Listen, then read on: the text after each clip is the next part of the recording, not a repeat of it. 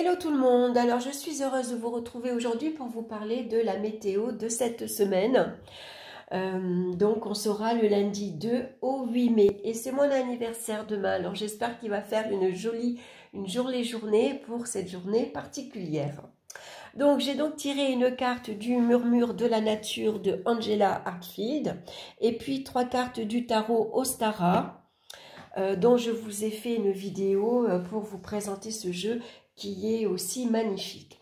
Alors, on va regarder la carte principale et on a être au service. Regardez comme elle est belle. Ce jeu est superbe. Donc, bien sûr, cette semaine, on va regarder comment on est au service des autres. Ça peut nous parler de générosité, de partage. Ici, c'est peut-être le moment de regarder euh, est-ce que notre façon de donner et de recevoir est équilibrée? Est-ce qu'on ne donne pas trop et qu'on reçoit peu? Ou au contraire, est-ce qu'on reçoit beaucoup et qu'on donne peu? Hein? donc ici, on peut également aider les autres par des mots ou des gestes simples. Hein. Ça peut nous parler de bénévolat, par exemple. Hein. Parce que ici, les efforts qu'on fait pour aider les autres aident euh, c'est une façon euh, d'aider à créer une énergie nécessaire pour soutenir l'humanité. Donc, on a besoin d'équilibrer entre le donner et recevoir. C'est une semaine où on va être très attentif aux autres. On va prendre soin de notre entourage. On va prendre le temps de les écouter. Euh, d'être également, euh, s'ils ont besoin d'une épaule, par exemple, pour être rassurés, s'ils ont besoin d'une écoute, euh, pour être attentifs à leur peine, par exemple, hein, à leur désir également. Tout ça, on va le faire dans la bienveillance. Hein. Donc, c'est une semaine qui nous parle d'entraide. Alors, on va regarder également comment est notre façon euh, de nourrir les autres. Vous voyez, on voit que euh, ici, elle nourrit euh, ce poisson, je ne sais plus le nom, alors je ne vais pas vous le dire, sinon je... Il y a le mot hop dedans, c'est pas antilope, c'est... Bon bref, vous voyez ce que je veux dire. Donc ici, on va regarder notre façon de se nourrir euh, c'est une façon de se nourrir que d'aider les autres. Hein. Peut-être que finalement ça nous apporte beaucoup, ça nous fait du bien, ça nous réconforte, euh, on se sent euh, utile finalement en aidant les autres. Hein. Donc on va regarder comment justement tous ces ressentis, bah, ça peut être une façon également de se nourrir soi-même. Hein. Donc euh, c'est une belle semaine également pour mettre en lumière ici euh, son entourage, qu'il soit amical ou familial. En tout cas, on va être très attentif. Euh, c'est une belle semaine également pour éclaircir certaines relations. On pourrait s'apercevoir voilà, qu'il y a peut-être un déséquilibre Hein, euh, que peut-être ici euh, euh, on ne reçoit pas assez ou on donne pas assez. Hein. donc ça va être une remise en question également. Hein. Donc en tout cas c'est une semaine basée également sur le partage. Et puis peut-être que on va cette semaine prendre la décision de s'engager par exemple euh, bah oui, dans du bénévolat. Hein. On va ici se mettre au service euh, de ses voisins, par exemple, de son pays, euh, au service de son travail, de sa famille, simplement. Hein. On va être là, en tout cas, pour ceux qui ont besoin de nous. Donc, on va regarder maintenant avec le tarot et nous avons ici la carte de la foudre. Donc ici, cette semaine, ça nous parle de remise en question et puis surtout d'une prise de conscience. Hein. Avec la foudre ici, il pourrait y avoir des révélations qui vont nous être faites. Il peut y avoir ici des découvertes également. On pourrait découvrir certaines choses la carte de la foudre nous permet d'avoir une autre vision des choses, des événements, mais aussi sur des personnes qui nous entourent. Donc ça pourrait parler de révélation fracassante, par exemple. Hein. La foudre nous permet euh, de démasquer les manipulateurs, les mensonges, les trahisons, tout ce qui, euh, tout ce qu'on ne voyait pas jusqu'à maintenant. Hein. Euh, ça nous permet également de revoir ou de remettre en cause donc certaines situations et certaines relations. Alors bien sûr, ça pourrait nous parler de conflits, de brouilles et de disputes. Hein. Ça peut être ici euh, des choses assez inattendues, assez surprenantes. Ça vient bouleverser un peu notre, notre semaine, on va dire, hein. surtout si on s'aperçoit que on donne beaucoup et qu'on reçoit peu finalement. Hein. Ou alors si on reçoit beaucoup mais qu'on n'est jamais euh, dans euh, l'échange.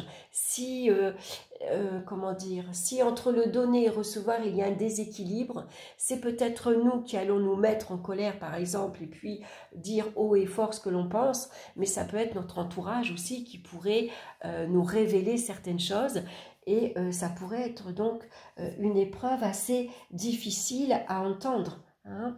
Mais cette épreuve difficile également va nous permettre de se protéger et d'y voir plus clair sur les intentions des autres. Hein.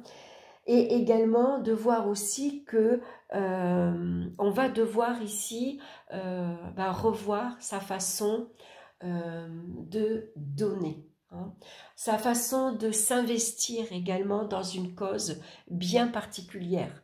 Hein. Peut-être qu'il y a une prise de conscience ici et on a besoin maintenant de vraiment donner de sa personne, de vraiment s'occuper des autres, se mettre au service quelque part de l'humanité, hein, parce qu'on s'aperçoit bien sûr que on est dans une période assez tumultueuse, assez difficile, hein, et puis euh, quand on voit que la guerre est proche, on n'est pas à l'abri qu'un jour la guerre elle arrive à notre porte, hein, et ça il faut en prendre conscience.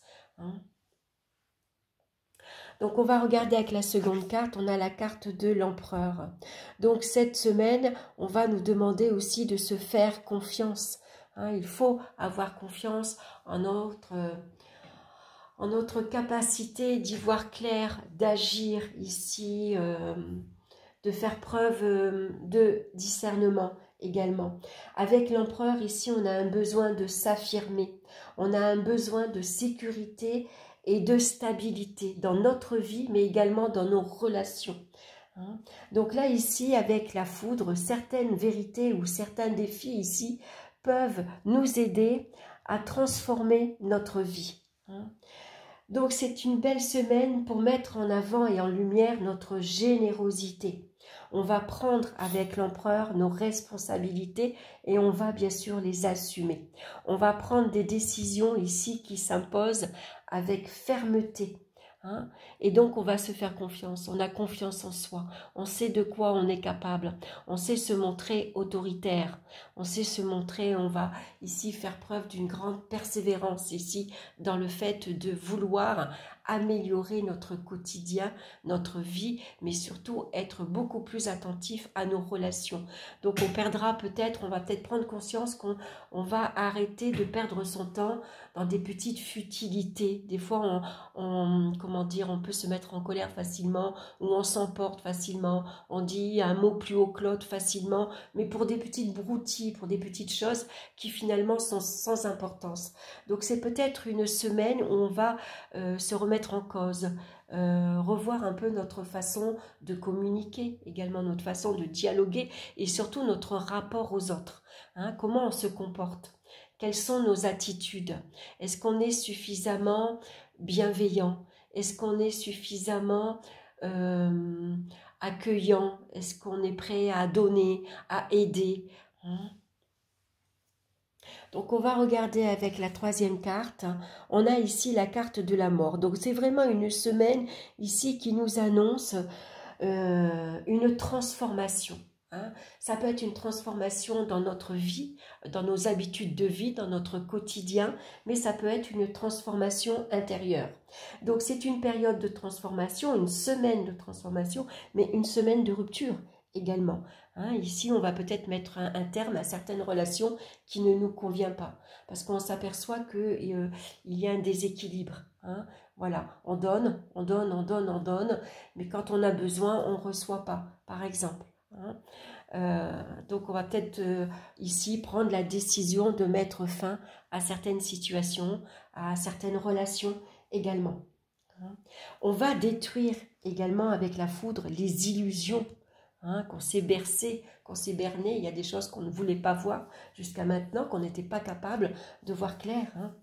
Donc ça va nous parler de transformation intérieure et pour ça, il y aura peut-être des décisions qu'on va devoir prendre fermement et donc on va devoir trancher, couper, hein, que ce soit des situations, des relations. En tout cas, on va se débarrasser de tout ce qui nous empêche ici d'évoluer, d'avancer sur notre cheminement personnel. Ça nous parle de renaissance intérieure également. Hein. Donc là, on va sans doute prendre cette semaine un nouveau départ. On va prendre de nouvelles résolutions également. Hein. Donc c'est important d'accepter un changement dans notre vie hein, qui est ici nécessaire pour notre évolution personnelle. Donc une semaine qui peut être assez remuante finalement. Hein, une, semaine de transforma une semaine transformatrice. Hein. On va ici euh, voir les choses différemment, on va faire preuve de discernement, on va essayer d'éclaircir certaines choses également. Euh, c'est une belle période de renaissance, de renouveau. Hein.